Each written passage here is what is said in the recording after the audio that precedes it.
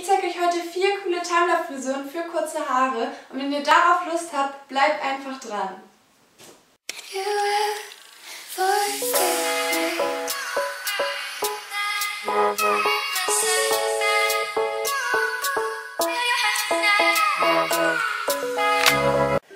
So, das ist schon die erste Frisur.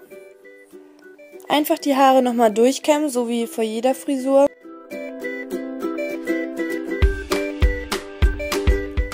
Und dann benutze ich so eine Klammer. Ihr könntet theoretisch auch einen Zopfgummi nehmen. Ich finde es mit einer Klammer einen Ticken schöner. Nehmt ihr euch die eine Partie von der einen Seite und dreht es einfach so ein bisschen ein, so die, das obere Deckhaar. Das klemme ich mir erstmal so fest, damit es fixiert ist und nicht runterfällt. Und dann kommt auch schon die andere Seite. Da mache ich genau das gleiche. Einfach das obere Haar nehmen, ein bisschen eindrehen. Und dann mache ich hinten einfach so ein Dutt, so eine Art Dutt aus den beiden Strähnen und pack da eine Klammer rein. Ich zuppel da so ein bisschen noch die Haare raus, damit es ein bisschen messier aussieht, ein bisschen cooler.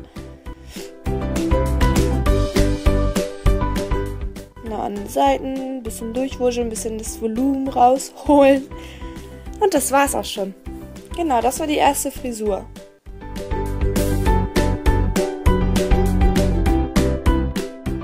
Nächste Frisur sind so zwei Dutz auf dem Kopf. Dafür braucht ihr einen Mittelscheitel, den ziehe ich mir mal mit so einem Tupierkamm. Dann wird er eigentlich immer ein bisschen ordentlicher. Ich habe es natürlich jetzt nicht ordentlich hinbekommen. Und dann klemme ich mir wieder die eine Seite schon mal fest, damit ich mit der anderen Seite nicht durcheinander komme und nehme alle Haare von der einen Seite einfach nach oben. Ihr könnt die Frisur ein bisschen strenger machen oder ein bisschen lockerer. Ich mache sie ein bisschen lockerer finde, das sieht dann immer ein bisschen cooler aus. Dann nehme ich die Haare oben zusammen, zusammen Dutt, drehe die einfach so ein bisschen um sich herum. Und dann nehme ich ein Zopfgummi und stecke das fest. Und drehe das da rum. Sagt man, steckt das fest oder dreht rum? Egal. Da zuppel ich so ein bisschen wieder dran rum, ziehe das ein bisschen auseinander und dann finde ich das auch schon ganz okay so. Und dann mache ich die zweite Seite auf und eigentlich genau das gleiche. Also ich mache die Haare wieder nach oben hin zusammen. So, dass es mir eben gerade so gefällt und dass ich die Haare alle zusammen kriege. Dann werden die wieder in sich eingedreht. Einfach so ein bisschen rundherum legen, wie ihr das gerne möchtet. Und dann mache ich da auch schon den Zopfgummi rundherum.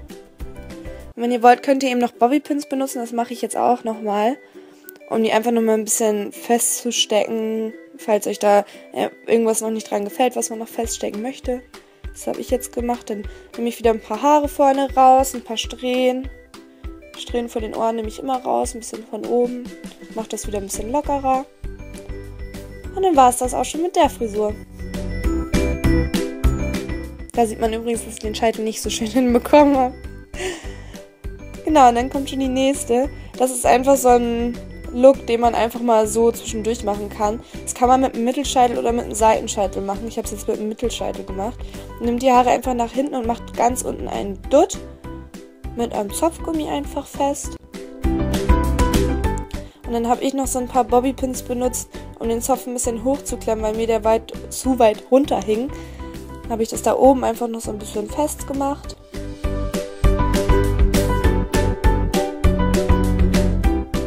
noch ein bisschen locker gezogen. Und dann kommt vorne auch wieder einfach so ein paar Strähnen raus, was ich ja dann immer mache.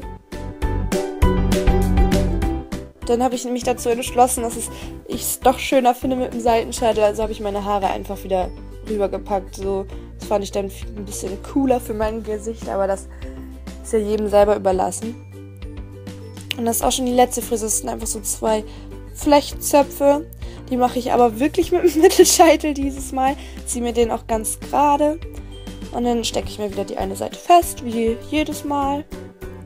Und dann nehme ich mir vorne so eine dünne Partie, teile die in drei Strähnen und die flechte ich jetzt immer von unten. Das heißt, wir machen so einen holländischen Zopf.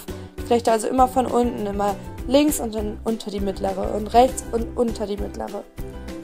Und die ersten drei Male nehme ich noch keine Haare dazu. Zwei, drei Mal, wie auch immer. Finde ich den Anfang immer ein bisschen schöner. Und dann nehme ich aber langsam Haare immer dazu. Und so geht das jetzt praktisch den ganzen Kopf lang. Und das zeige ich euch jetzt einfach einmal im Schnelldurchlauf.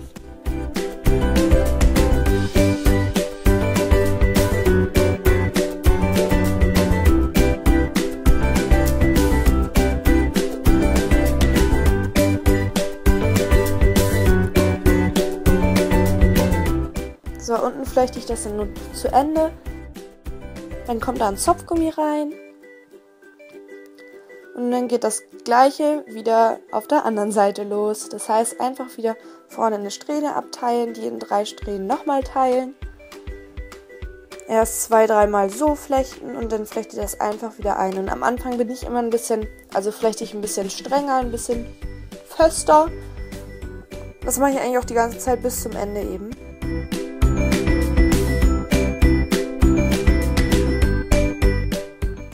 Da wieder ein Zopfgummi rein.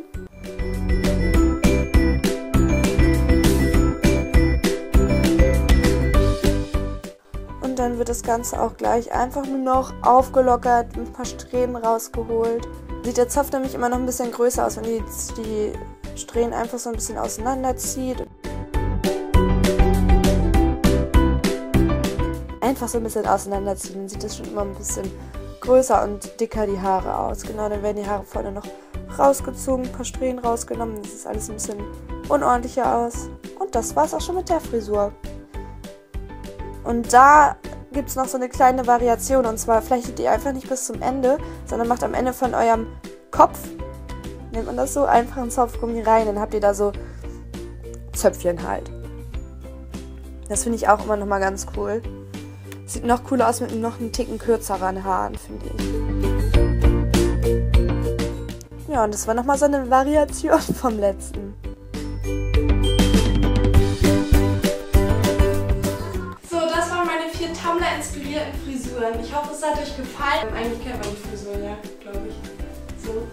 Aber ja. Wenn ihr irgendwie weiter sowas sehen wollt, weiter Frisuren, weiter Make-up, was weiß ich, Schreibt es mir unten in die Kommentare, gebt mir einen Daumen hoch, gerne auch ein Abo dalassen, da würde ich mich super drüber freuen. Und wir sehen uns beim nächsten Mal. Ciao!